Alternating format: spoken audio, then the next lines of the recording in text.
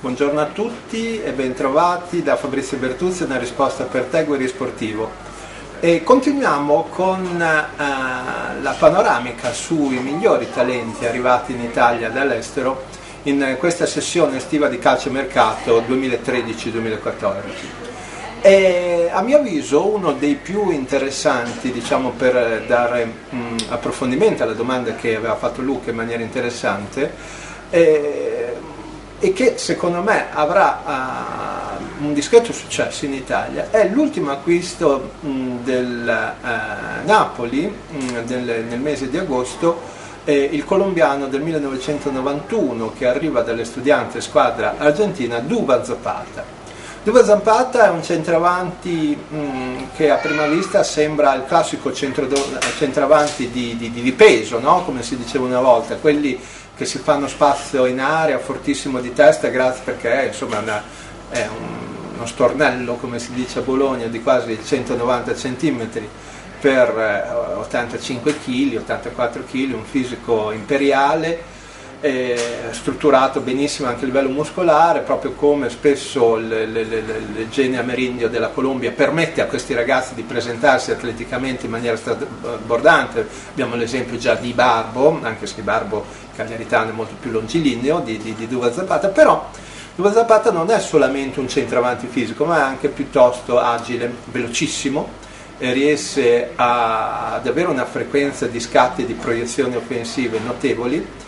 e tant'è che dopo un iniziale eh, percorso eh, nel Cali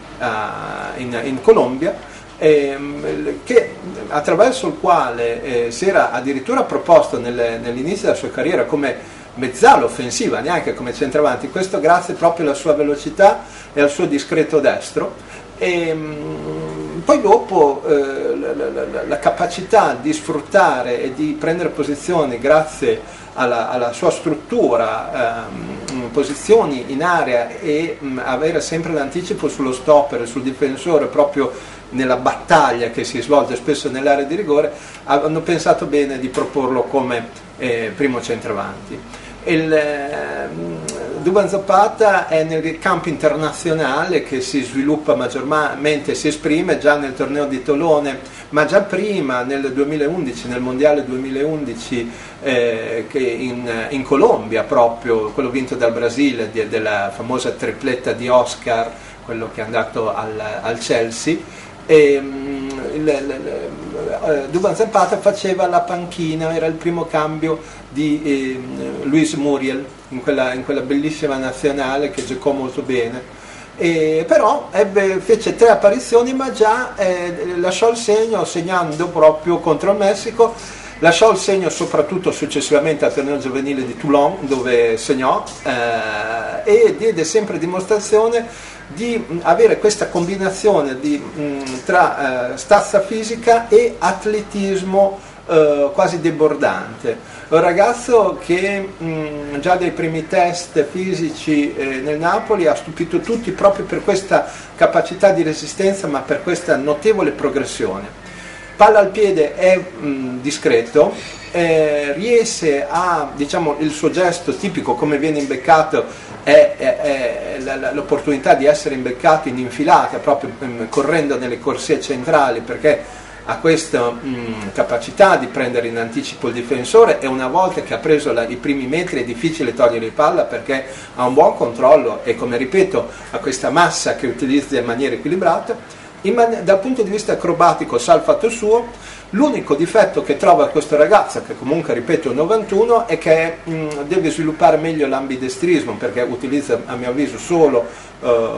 bene, in particolare esclusivamente il destro, però insomma vedo che ultimamente ha fatto dei miglioramenti e l'opportunità, che perché in Italia sarà molto molto molto importante, di eh, sviluppare un dribbling eh, diciamo efficace nell'uno contro uno perché questo un po' a mio parere gli manca. Eh, ragazzo che come dico via, come vi dicevo va via di potenza, va via di, mh, mm, eh, di dinamicità, ma gli manca un po' di fantasia nel eh, dribblare l'uomo e in Italia quando devi sfondare delle difese arroccate magari con due linee da 4 se non una linea da 4 e una da 5 se non hai un po' di mosse che esulano no? dal, dal, dal, binario verticale si rischia di far fatica comunque questo è anche un ragazzo che è abituato a giocare nel 4-2-3-1 in Argentina nelle Studiantes eh, con Pellegrino